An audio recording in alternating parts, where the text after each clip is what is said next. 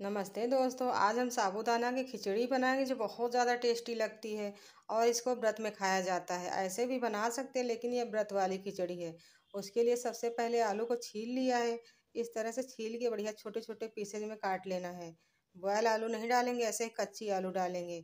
बहुत टेस्टी लगती है खिचड़ी और बनाना बहुत ही आसान है। सब कोई बना सकता है इसको। बनाने में ज़्यादा टाइम भी नहीं लगता। बस तैयारी करने में लगता है। देखिए, पाँच छोटे साइज़ की आलू ले लिया, इनको इस तरह से काट लेना है और ढाई सौ ग्राम साबुदाना ले लिया था, उसको भिगो देना है चार पाँच घंटा के लिए। अच्छे से पहले धो लेना, तब भिगोना है। पानी बहुत ज़्यादा नहीं डालना है, बस साबुदाना भीगना चाहिए, इतना पानी डालना नहीं, बहुत गीला हो जाता है। देखिए, आलू भी काट लिया, साबुदाना अच्छे से फूल चुका है। देखिए, एकदम अलग अलग है साबुदाना, इसको थोड़ी देर फ्रिज में रख दिया था और अलग अलग हो गया है। अब काली मिर्च और जीरा को भून लेना है। हल्की आँच पे भून लेना है। इससे बहुत अच्छा फ्लेवर आता है खिचड़ी में। एक बार इस तरह से ज़रूर बनाइएगा। अब इसको कूट लेना है दरदरा। अब कढ़ाई में देसी घी डाल देना है। दो चम्मच देसी घी है। अब इसमें मूंगफली डाल देना है। धीमी आँच पे इसको पका लेना है मूंगफली को। अब इनको भी निकाल लेना है।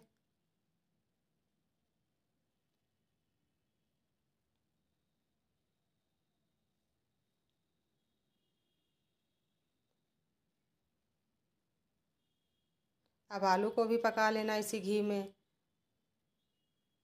अच्छे से चला देना है। और मीडियम फ्लेम पे पका लेना, ढक देना जिससे बहुत जल्दी पक जाती हैं आलू। तब तक इसको कूट लेना है। ठंडा हो गया, ठंडा होने के बाद ही कूटें। तो बहुत अच्छे से कूट जाता है। अब इसको निकाल के रख लेना है। अब आलू चेक कर लेना है। टमाटर भी डालेंगे। अगर आप लोग खाते हैं टमाटर तो डाल सकते हैं। बहुत टेस्टी लगता है। थोड़ा सा खटास हो जाती है इसमें। टमाटर जब भी डालें, छील के डालें। छोटे छोटे पीसेज में काट लेना है। देखिए, आलू भी अच्छे से पक चुकी हैं। बढ़िया सा कलर आ चुका है। लाल लाल हो गई हैं आलू। अब इनको भी निकाल लेना है।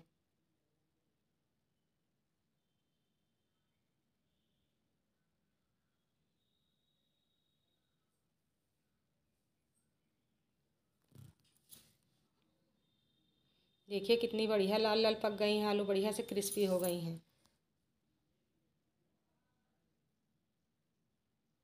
अब हरी मिर्ची डाल देना है।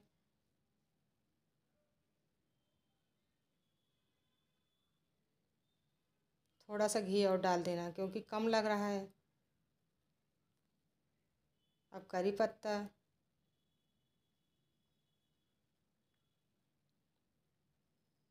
किशमिश डाल दिया है। किशमिश से भी बहुत अच्छा टेस्ट आता है खट्टा मीठा। अब साबूदाना डाल देना, देखिए कितना अलग अलग है साबूदाना। इस तरह से होना चाहिए तो बहुत अच्छी खिचड़ी बनती है, बिल्कुल खिली खिली बनती है। अलग अलग बनती है।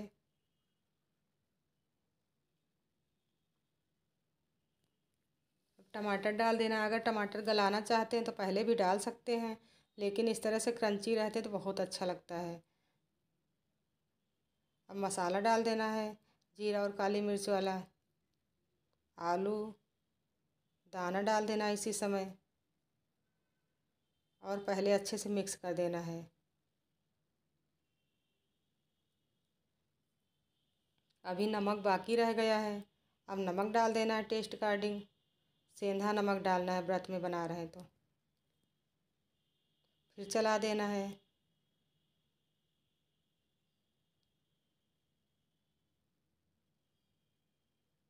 अगर इसको लोहे की कढ़ाई में बनाएँगे तो बहुत अच्छी लगती है खिचड़ी। है हल्की कढ़ाई है तो चिपक जा रहा है। मोटी तली वाली कढ़ाई लेंगे तो बहुत अच्छी बनती है। अब ढक देना है दो मिनट के लिए और धीमी आँच पे रखना है इसको। नहीं तो नीचे से चिपक जाएगी। ढकना बहुत ज़रूरी रहता है क्योंकि नमक भी अच्छे से गल जाता है और अच्छे से मिक्स हो जाती है खिचड़ी।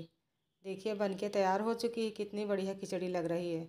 खाने में बहुत ज़्यादा हेल्दी होती है और जल्दी भूख नहीं लगती है। कितनी कलरफुल लग रही है खिचड़ी। अब सर्व कर देना है, उतार लेना है इसको। आप लोगों को मेरी ये वीडियो पसंद आई हो तो लाइक कीजिएगा और शेयर कीजिएगा। देखिए एक एक दाना खिला खिला बना, इस तरह से बनाएँगे तो बहुत टेस्टी खिचड़ी लगती है। अच्छी लगती है खाने में। आलू भी बढ़िया सा पक जाते हैं इस तरह से। वीडियो देखने के लिए धन्यवाद दोस्तों मिलते हैं नई वीडियो के साथ।